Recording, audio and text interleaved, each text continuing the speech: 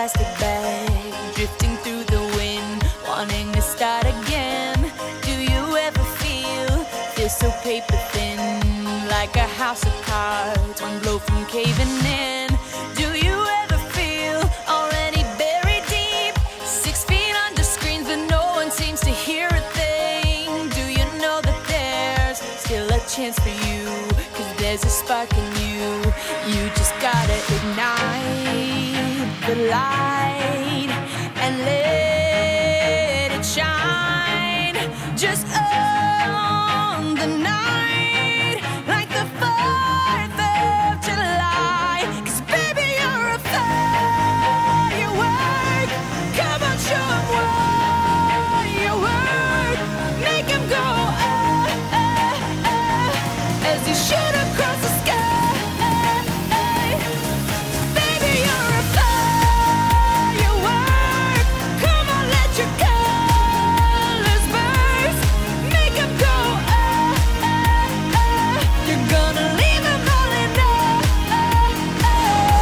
Okay, here we are, Six Flags Magic Mountain. We just finished writing X2. Madison just wrote it for the first time.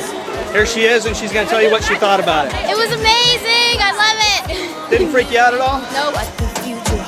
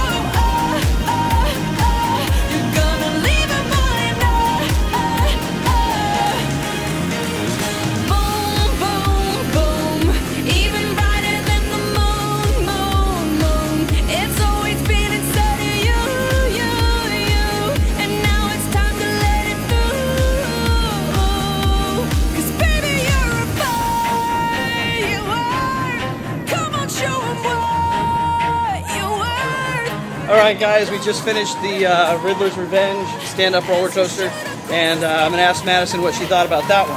That was my second favorite. And your first favorite so far is X2. still X2. Yes. Wow, what was your third fa- favorite? Tatsu. And then Apocalypse fourth. All right.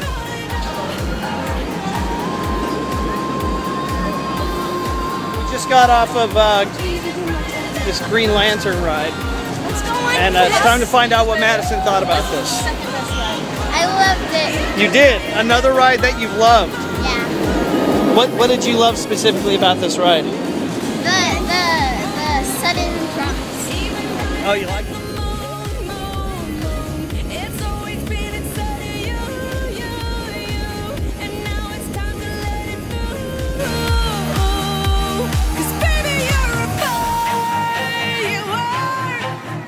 Come on,